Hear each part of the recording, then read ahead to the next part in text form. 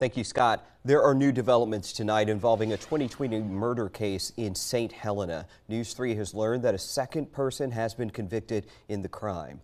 A Beaufort County jury found 22-year-old Xavier Polite guilty of murder of Stephen Glover.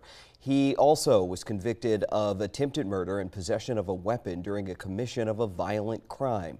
Polite was sentenced Friday to 37 years in prison. His co-defendant, Channon Talon Preston, was found guilty of the same charges in a jury trial in October of 2022. He was also sentenced to 37 years in prison.